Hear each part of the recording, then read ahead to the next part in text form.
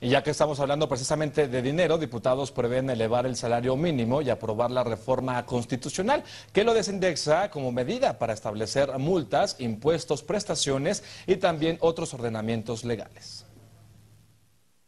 El presidente de la Cámara de Diputados, Jesús Zambrano, informó que esta semana será discutida y, en su caso, aprobada la reforma constitucional sobre la desindexación del salario mínimo, lo que quiere decir que se desvinculará de multas, impuestos, prestaciones y otros ordenamientos legales. El presidente de la Comisión de Puntos Constitucionales, el diputado Daniel Ordóñez Hernández, advirtió que recuperar el poder adquisitivo del salario en México debe ser un compromiso primordial de la actual legislatura, así como del Poder Ejecutivo Aseguró que la desindexación refleja las condiciones óptimas para discutir y diseñar un andamiaje jurídico que impulse la recuperación real de los salarios a nivel nacional.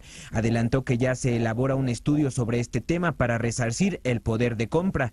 Expuso también que se deberán adecuarse alrededor de 146 ordenamientos que señalan al salario mínimo como unidad de medida, de multa o de sanción para emprender la evaluación hacia la recuperación real del mínimo y que las legislaturas de los estados tendrán que adaptar sus leyes a la nueva realidad de los sueldos.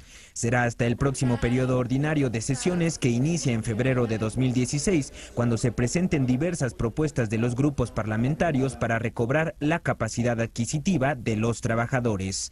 Emiliano Ortiz, Excelsior Televisión. Te invitamos a seguir cuestionando la información con los siguientes videos.